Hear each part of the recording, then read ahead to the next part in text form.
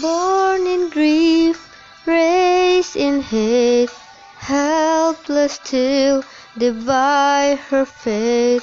Let her run, let her live, but do not forget what we cannot forgive.